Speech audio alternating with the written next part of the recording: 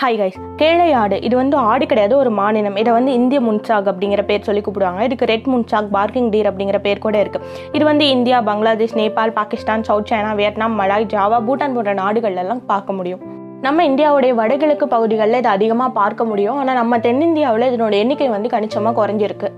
இந்த மாநிலத்தில் ஆண்மான் ஆண் மான் விட உயரமாக இருக்கும் முப்பத்தஞ்சிலேருந்து ஐம்பத்தி மூணு இன்ச் நீளமும் பதினஞ்சுலேருந்து இருபத்தி ஆறு இன்ச் உயரமும் இருக்கக்கூடியது. பதிமூணுலேருந்து பதினெட்டு கிலோகிராம் வரைக்கும் எடை இருக்கும்.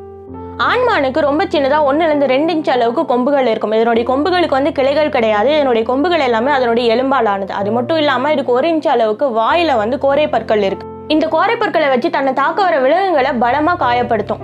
இந்த மானுடைய கடவாய் பற்கள் அதனுடைய வயசு எவ்வளோ இருக்கும் அப்படிங்கறத கண்டுபிடிக்கிறதுக்காக உதவுது.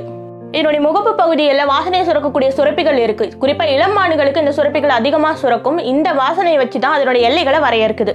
மறக்காம வீடியோக்கு லைக் கொடுத்துட்டு கிளாசிக் ஸ்டோரிஸும் சப்ஸ்கிரைப் பண்ணிக்கோங்க.